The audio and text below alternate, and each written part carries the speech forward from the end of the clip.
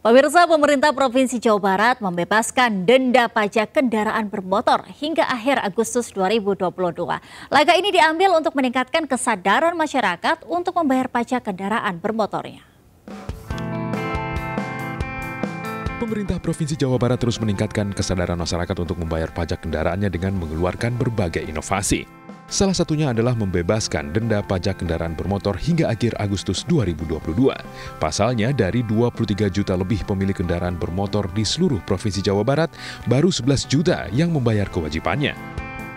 Nah, karena kedisiplinannya masih rendah, kita mengeluarkan banyak inovasi, termasuk mengingatkan bahwa sampai bulan Januari, bagi yang tidak meregister ulang kendaraan gitu ya, eh, itu akan dianggap bodong setelah bulan Januari 2023. Nah, manfaatkan eh, registrasi ulang itu sampai Januari bayar pajaknya. Kemudian sedang ada wacana ya, biar balik nama eh, itu akan dihilangkan bertahap dua. Ridwan Kamil menghimbau masyarakatnya untuk segera memanfaatkan program bebas denda pajak ini demi pembangunan Jawa Barat ke depan. Dari Bandung, Jawa Barat, Ervan David Ainus melaporkan.